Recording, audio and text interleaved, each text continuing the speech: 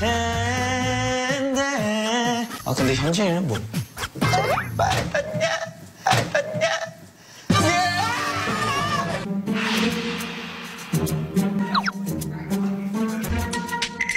어, 깜짝아, 씨.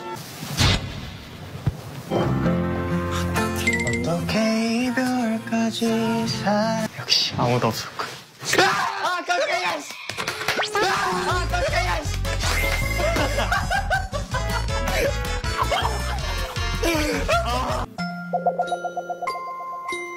잘 자고 있니? 야, 우리 룸메래. 아, 그래? 어. 가자.